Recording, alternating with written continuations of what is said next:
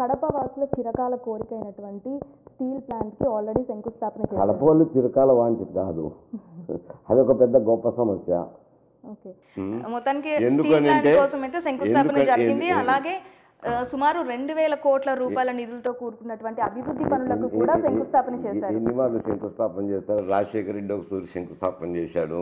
చంద్రబాబు నాయుడు శంకుస్థాపన చేశాడు. జగన్మోహన్ రెడ్డి శంకుస్థాపన చేశాడు వస్తే రాని రండి సంతోషమే కాదనిలేము నేను వద్దనలేదు వ్యతిరేకించడం లేదు.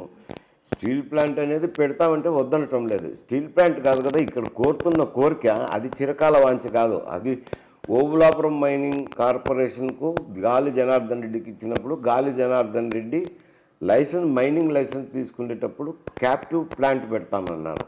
ఓబులాపురం మైన్కు సంబంధించి క్యాప్టివ్ ప్లాంట్ పెడతామన్నారు. ఆ క్యాప్టివ్ ప్లాంట్ ఆడ పెట్టదలుచుకున్నాడు ఆయన. దానికోసం ల్యాండ్ అలాట్ చేసింది ప్రభుత్వం. అప్పుడు రాజశేఖర రెడ్డి గారు ఉన్నప్పుడు ప్రభుత్వం అలాట్ చేసింది. కొంత డబ్బు కూడా ఖర్చు పెట్టాను.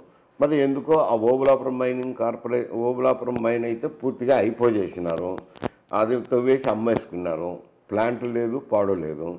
ఇప్పుడు చంద్రబాబు నాయుడు వచ్చిన తర్వాత మీకు స్టీల్ ప్లాంట్ ఇస్తున్నాము కియా ప్లాంట్ ఇస్తున్నాము అంటే కియా ప్లాంట్ స్టీల్ ప్లాంట్ కదా అడుగుతుండేది ఒకటి. నువ్వు చెప్ మీరు చెప్పేది ఒకటి ప్రభుత్వం చెప్పేది. చెవిటికి శంకుదినట్టే ఉంది ప్రభుత్వాలతో. ఓకే సార్ కానీ ఇప్పుడు స్టీల్ ప్లాంట్ వల్ల కానీ లేదంటే వేరే అభివృద్ధి పనుల వల్ల కానీ మున్ముందు కూడా ఇంకా భవిష్యత్తులో మరిన్ని అభివృద్ధి పనులకు శ్రీకారం చుడతామని చెప్పేసి జగన్మోహన్ రెడ్డి ఆల్రెడీ హామీ ఇచ్చారు. సో వీటి వల్ల అభివృద్ధి జరగదంటారా? ఏం అభివృద్ధి ఏం అభివృద్ధి కార్యక్రమం? రాయలసీమను- అభి- అభివృద్ధి అనేది వేరు. ఆత్మగౌరవం అనేది వేరు. అభివృద్ధి వేరు ఆత్మగౌరవం వేరు. మేము అడిగేది మాకు ఉన్న రాజధాని పోయింది ఆ రాజధాని కావాలంటున్నాం అదనేది ఆత్మగౌరవానికి సంబంధించింది. ఇది అభివృద్ధి అనేది అన్ని ప్రాంతాల్లో జరుగుతుంది. అటు నార్త్ కోస్టల్ ఆంధ్రాలో జరుగుతుంది ఆంధ్ర ప్రాంతంలో జరుగుతుంది రాయలసీమలోనూ జరుగుతుంది. స్పెషల్గా ఏం చేస్తారు చెప్పండి? ఓకే అంటే రాయలసీమలో వెనుకబాటుతనం పోవాలి అని అంటే కేవలం పరిపాలన రాజధాని వస్తేనే జరుగుతుంది అంటారా? అభివృద్ధి అయితే జరుగుతుంది కదా. ఇప్పుడు హైదరాబాద్ వచ్చిన తర్వాత తెలంగాణ రాజధాని అయిన తర్వాత తెలంగాణలో అభివృద్ధి జరిగింది కదా నాలుగైదు జిల్లాల్లో జరిగింది. అట్నే ఆడ కూడా జరుగుతుంది కదా చుట్టూ నాలుగైదు జిల్లాల్లో జరుగుతుంది కదా. అభి దాని అభివృద్ధి వేరు దాని అలీడ్ అభివృద్ధి వేరు.